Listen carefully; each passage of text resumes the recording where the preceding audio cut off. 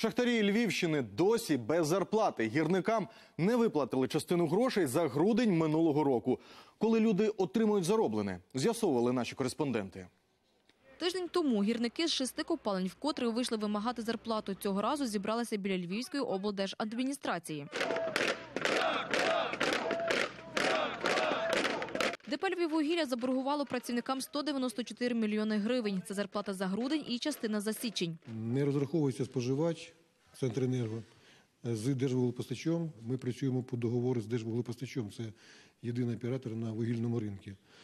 І е, саме Держвуглепостачу Центренерго на сьогоднішній день е, винуть ті кошти, які Держвуглепостач відповідно винен нам.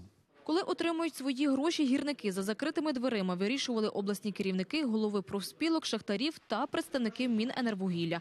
Чиновники з міністерства запевняють, до кінця тижня гроші надійдуть. Окрім того, обіцяють виділити з держбюджету кошти на ремонт обладнання. На цей рік е, мільярд гривень в бюджеті закладено на реконструкцію 200 мільйонів, які підуть на кожну шахту там, ну, пропорційно.